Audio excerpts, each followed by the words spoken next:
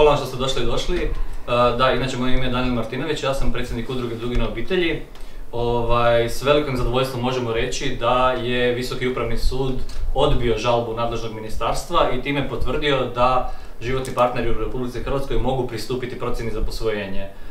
Čime se otvara put e, svim životnim partnerima, to jest e, lezbijskim i gej parovima u Hrvatskoj da pristupe procjeni za posvojitelje i time postanu eventualno posvojitelji ako zadovolje kriterije.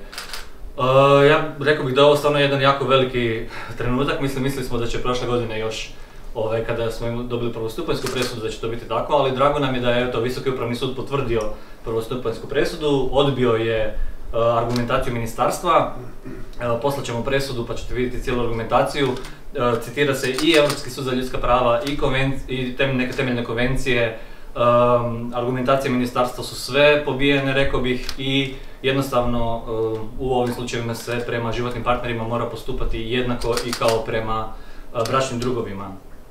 Pozivamo ih da nam da se jave i za LGBTQ zajednicu u Hrvatskoj, jer po ovome istospolni parovi su izjednačeni sa bračnim drugovima po svim pitanjima. Znači ne postoji nikakva razlika u pristupu uh, ikakvim uslugama ili pravima koju bračni drugovi u Hrvatskoj imaju, a nemaju istospolni parovi. A da se otvara mogućnost da ih i posvoje, da postanu, da se uspostavi to trajno roditeljstvo, tako da mislim da ovo i fantastična vijest za njih i njihovu obitelj, koji eto već dvije godine idu na nogomet utakmice, ne znam, slave rođendane i tako.